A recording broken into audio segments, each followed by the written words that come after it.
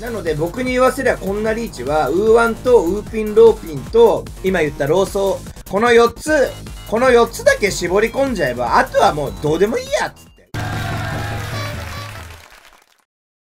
ここちょっと進めて。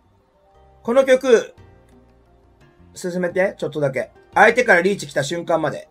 ここ。この時のはい。基本的な考え方言いますね。はい。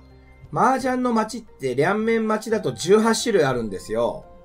これ、いくつ通ってるかわかる？例えば、ピンズ一数ピン通ってるじゃん。はいはいはい。マンズがサブローマンとロッキューマン通ってるじゃん。はい。で、ソーズは、イースーソとリャンウーソとスーチーソ通ってるの。はい。で、18のうち6個通ってるの。だからあと12回に1回しか当たらないのね、基本的には。うんうん、だけど、シャンポン待ちとか両面じゃない待ちもあるから、はい。普通に12分の1がもう16分の1ぐらいしか当たんないんですよ、基本的には。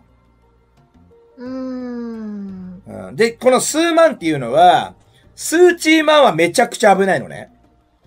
はいはいはい。で、一数万はあんまり危なくないの。両万が3枚出てるし、3万が早いから。うーん。そういう意味で、僕は10回に1回ぐらいしか当たんないよって言ったの。なるほどです。この街に、このリーチに、じゃあ分かっていくよ。質問するよ。このリーチに、一番危ない範は何ですかって聞かれたら、うん。てんてんは何て答えるかな？ここがすごく大事です。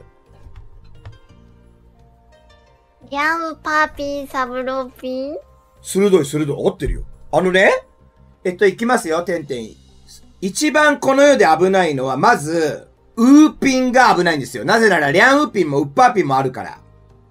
ああ、はい。そして、ローピンが危ないんですよ。えー、うんローピンはサブローピンとロッキューピンがあるから。はいはで、い。次はローソーが危ないんです。ローソーはサブローソーとロッキューソーがあるから。あ、そうですよね。うん、あとは、ウーマン。ウーマンはリャンウーマンとウッパーマンがあるから。うーん。この4つで大体解決しちゃうんですよ。うんうんうん。ここが、この言ったやつが他のやつより2倍、2倍ずつ危ないから。だから、例えば、数ピンとローピンで迷ったら、絶対数ピン打ってほしいんですよ。なぜなら、一数ピンの方はもう通ってるから。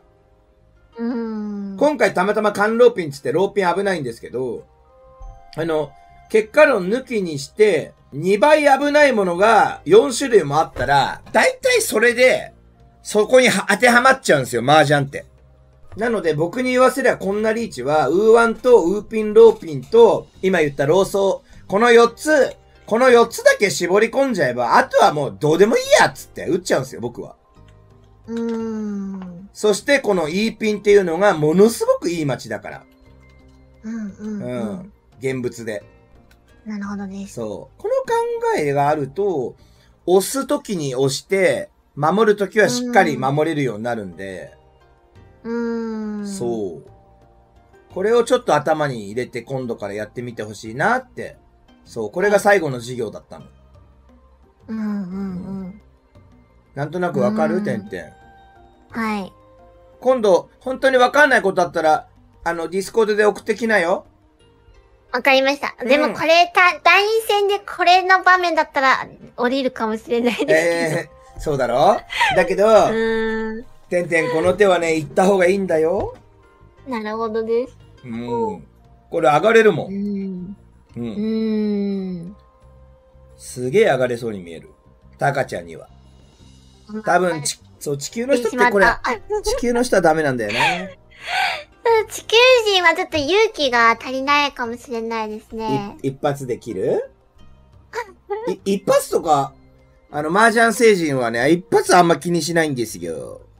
あと当たんないものは当たんないんだもん。うんうんうん。そんな感じの話だったの。はい。チャンネル登録、高評価よろしくお願いします。こっちの動画を見てね。